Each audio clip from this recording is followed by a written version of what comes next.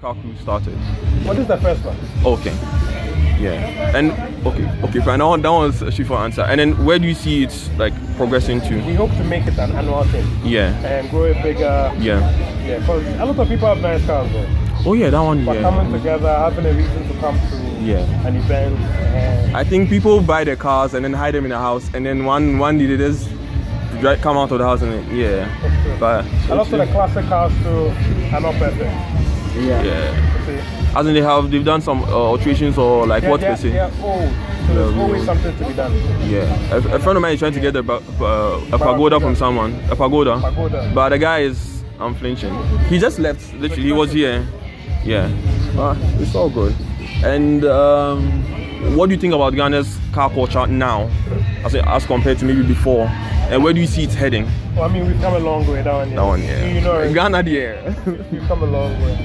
I mean, on average, tell Charlie, people know cars now. People do. uh, You know, pe- people, people, the knowledge people have about cars. They talk about horsepower. Yeah. You know, stuff, stuff back in the day. No, No one really bothered. Yeah. Yeah, and not just cars, bikes as well. Motorcycles. yeah. Yeah. So we, we've definitely come a long way. Long way. And it only get bigger and bigger. You? So what do you hope to see? Like what are you? What do you hope to see? Everyone has different different aspects, but what do you hope to see? I think now the car culture or the people really, really move in the industry are the ones that have money. Yeah. You see, you know, a lot of us love the cars. Yeah, but they're- the they're not- day. See, yeah, they're not cheap. Yeah. Working on the cars, modifying the cars, keeping them tip top. Yeah. Bro, you have no idea. And I think the old ones, I think as as time passes by, you need to do alterations to them because the old parts, I don't I don't think they're as common as they they used it to. depends. If you're lucky and that car is popular enough, you Yeah. find parts. Yeah, that's cool. Mr. If- Collins, If, if not, yeah, you're always ordering parts. Yeah. Spending an arm and a That, leg. that's that's what we're subjected to do. Almost all, on like him and I both. We both have old cars. yeah, Yeah. And the first thing you look at is like, Stuff, okay, uh, overseas. You know what I mean? And that's what sucks. You know, but I mean, it's like that a lot of places too. Because the older the car gets, the more you have to start being resourceful Yeah. with what you have. And then sometimes you can't even find this stuff online. You can, and, and I say that like from websites. You Yeah. have to find different groups and uh, forums and stuff. Yeah. Who's trading amongst those forums and things like that. Wow. So, you know, but I mean, it's. I mean, the, the old cars, there's a reason for them. They have attitude. Yeah. You know what I mean? They have a soul and they have a story behind them. A lot of the new cars, there's no, It's there's no- no it's story just- behind yeah, it. it's like mass production. Yeah, yeah. It's, it's an A to B car. It doesn't really mean anything. Even even even the M3 and, and stuff like that is cool. Yeah. But there's no like, it's lost its soul because now it's made for a mass population. Yeah. Back in the day, you couldn't buy M car um, automatic. You know what I mean? Yeah. Maybe what the E36 the sedan was automatic, but you'd have to ask for it. Yeah. Aside from that, M5 always known to be manual transmission. See, I think everyone is switching to and- automatic now, And, so like- they- and it's faster, granted, but I think people are losing the idea of the drive Yeah. as opposed to what I look like in driving the car. You understand? It's more for looks than as opposed to I'm driving it because it's got all these attributes. You know what I mean? So there, there, there's differences here. They're looking at the numbers as opposed to looking at soul of the what car. it means. Yeah, what it means to have the car. So, uh, could you tell me your story about the RX-8? the the RX-7, I got it from uh, I got it from a friend of mine, and I actually worked on it before owning it. Yeah. And it was it was just sitting at the shop. Some my friend bought it, and um, he had it for like a year or so, and it was just sitting because he had work to do on it, but he didn't have time to work on it. And so one day he called me up and said, "Yo." You want the car? And I was like, yeah. And I was like, and I, and I said, and right before we got it amongst any conversation, I was like, listen, I don't have any money. None. I said, so if you, I said, if you're willing to give me the car and we work out a deal, or if you want me to fix it and you keep it, whatever the case may be, you let me know, I'm willing to do it. He said, listen, take the car, you come up with a price of how much you want to pay. You pay me whenever you get a chance to start paying back. And still, I'll be honest, I haven't paid anything to this guy, but I've been constantly piecing things together, piecing things together. So it's still getting there. And it's been repainted recently, um, and needs suspension work. I gotta order that stuff from overseas, but um, But how easy how easy is it to get parts for for it? How easy is it? I mean, truth be told, on the internet, there's millions of parts for it because it's still, It's and, still- and on the aftermarket world, there's still lots of support for them. Even engine wise, there's there's different groups of people worldwide that you Yeah. find who are still tr- trading with a lot of parts, Yeah. like especially the rotary engine stuff. Suspension stuff is always easy to come by, um, but uh, it's the rotary stuff that people are always like. Yeah. It's like a niche market. But um, this is my first rotary car in the states. Um, I've seen a few, haven't worked on any, but who doesn't want an FD RX-7? And I've, I mean, when I was younger, I always used to go on eBay, look at how much one was. Was- yeah. One day, maybe I'll get one. But I did the same thing for NSX and the Skyline too. But you know, maybe I'll get one of those too. But I couldn't, I couldn't, I couldn't uh, step away from that car. So and and that's one of my, to me, one of the most beautiful cars in the world. So after after this, what would be your like? If you if you had the money, what would be the the top three cars you would buy? Like vintage cars. Vintage cars. I would buy. I come.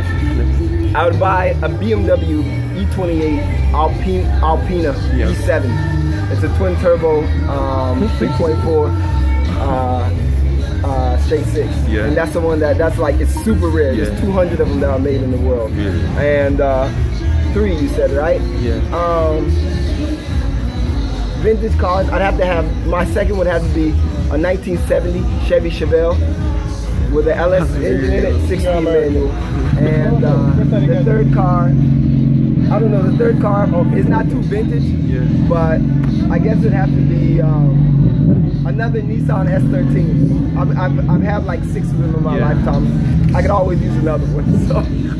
Mr. Jason, and you? If money The top wasn't an three, top three, top three. Top, top, top three, I have two already. Okay. E30, E34. They're back down there. yeah, The um, the we have we have one old E30 I'm trying to work on, but shall you see the the Lucino there? So Well, sooner or no, you do. later. I mean, you think oh, was an old car. But bro, move, move towards it. Engine, Yeah, yeah, yeah. suspension, Yeah. body. And the old cars, you have to strive for perfection. Because if they don't look clean, Yeah, it won't- it. Then, Yeah. then they look beat. They look big. And then, yeah, then it's an old rickety car. See, if it's clean, it's a classic. Thank you. You'd be like, ooh. Otherwise, you're like, oh, he broke. And the, the last one.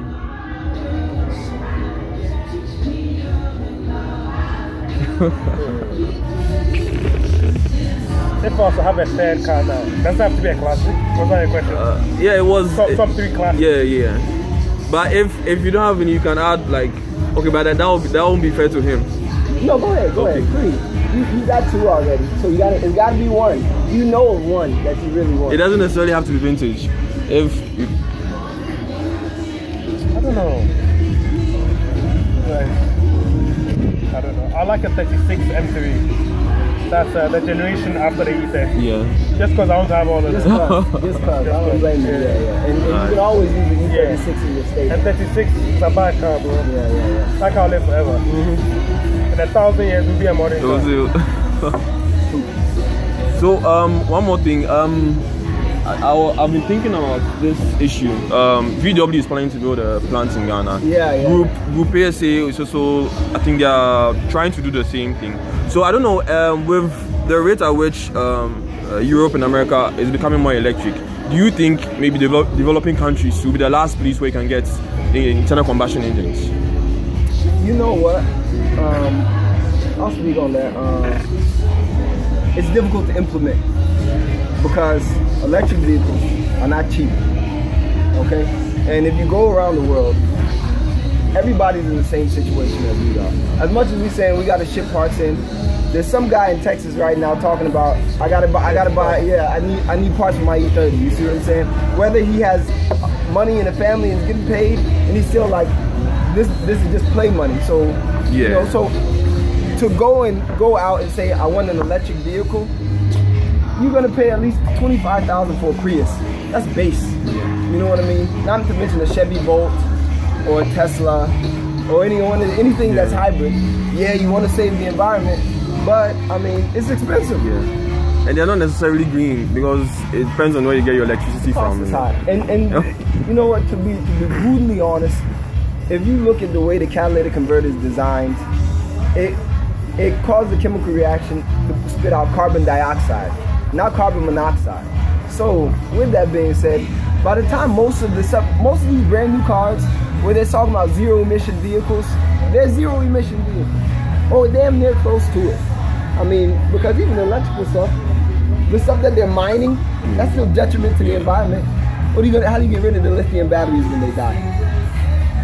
And it's That's finance too. Yeah. Like there's only a fixed amount that they can. Yeah, yeah, yeah. They can mine. Yeah, e- e- even even folks sitting in their house with solar panels, their batteries die off. Yeah, the they would have to. they're They would like, have to "Oh, change it. And we batteries, batteries are really. Are, we all know batteries are really toxic. Yeah, yeah. We know we've not gotten to where we can actually say the batteries are. May, may, actually- yeah, you know, maybe 20 years from now, who knows? But it's hard to tell. It's hard to tell. We could be sitting out here talking about, remember 20 years ago, but I, I don't know, man. It's hard to implement because you have to get a lot of people on board. And It's a lot of effort.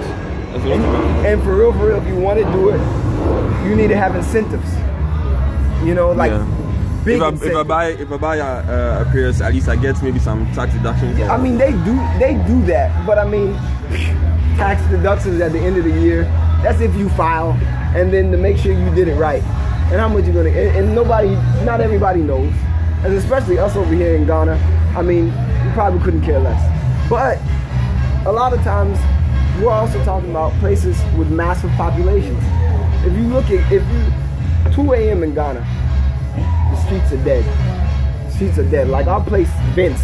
Like this place vents out. You know what I mean? As much as they can be like we have population, we may have pollution issues during the day, but I bet you during the nighttime all this stuff vents out. You know, places with massive population, Thailand, um, places, Bangkok, India. and these places in India, Hong Kong, all those places where it's massive people Yeah. at one time, which it means every hour during in the 24-hour period, people are on the something going- streets yeah. cars are running.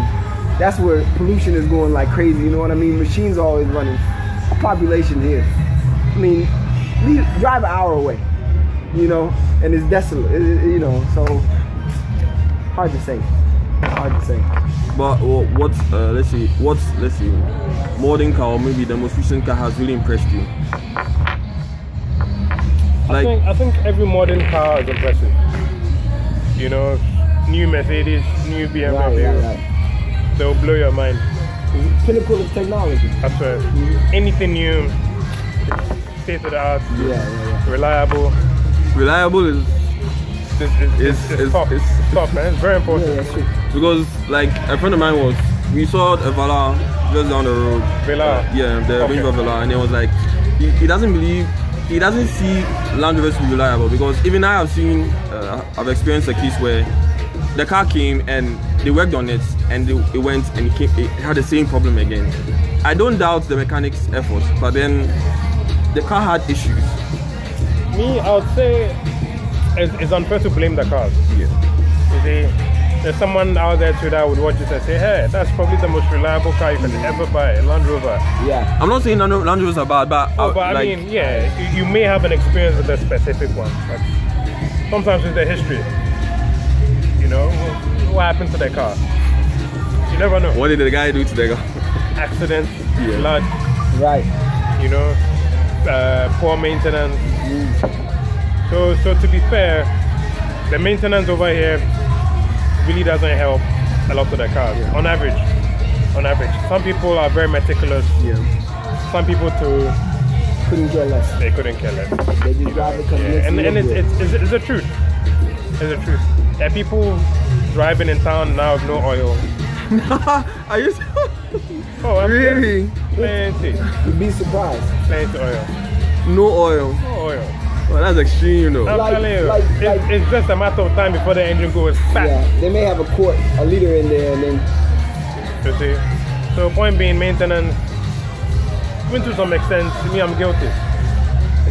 I think like, yeah, I, I get know? it. Yeah, I, 'cause I, a lot of time, maintenance is not how it should be over here in Ghana. Yeah. That's why the police make so much money collecting bribes. yeah, yeah, yeah. Because they know every single car is an issue. Every single car. Every single car. If, if they really, really, really want to, you know, go in depth. I, I, I think when it comes to maintenance, there has to be like discipline because sometimes you wake up in the morning, you don't feel like going to sit in the car, warm it for like five minutes, and then like you get up, just get in the car, and you're off to work because you know you have a lot of a lot of stuff. So I th- sometimes I think it's more of a, more of discipline than. Mm, I mean, it goes hand in hand. It goes hand in hand. I mean, yeah, you need discipline to, you know, meticulously maintain your car. Yeah. Because it has to be done regularly. You see, and not when you can. Also, When you time, I, have don't, I don't have money. When- when you so, you see, me if I can't afford maintenance, I leave the car home. I swear. It's true. Yeah. Yeah. I was this It's close because my new shocks, I need suspension done on mine. I was close. I was like, man, I don't even feel like Or, driving. this or you car. know it's not tip top. Yeah, so, yeah, yeah. You know, you you baby it. Right, right. You know, you take your time. hmm It will be. It will be. It will be. On. It go be.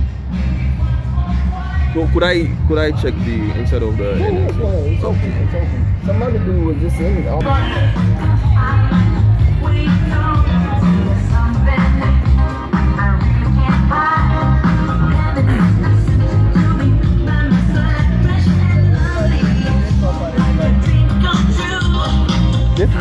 What I want. This is what I want.